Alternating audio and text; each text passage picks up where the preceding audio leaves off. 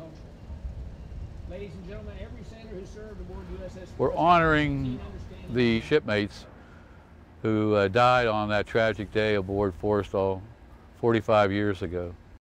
We already made the first launch of the morning against North Vietnam, getting ready for the second launch of the morning when the accident occurred, when the Zuni rocket accidentally launched from F-4 Phantom and struck the external fuel tank of an A-4 Skyhawk on the port side of the flight deck. They called away fire on the flight deck first. Second, they called away general quarters with the added distinction of this is not a drill. And we all knew it was serious because we had, none of us had never heard it's not a drill.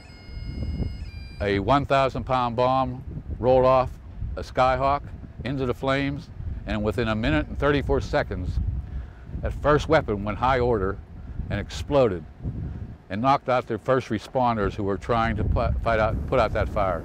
Numerous ordnance, Zunis, a couple 500 pound bombs went off. 28,000 gallons of JP5 contributed to the fire. We were dragging hoses back aft and a fellow called me and says, I need help, I need help. I went to see what he was talking about and there was a dead shipmate. We gathered him up in a blanket and carried him to the temporary morgue up forward on Hangar Bay 1. It was like slow motion, getting him up there.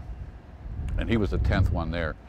And when the day was over, we had 134 men laying in a temporary morgue in Hangar Bay 1. To never forget. To never forget what we experienced and to remember our shipmates.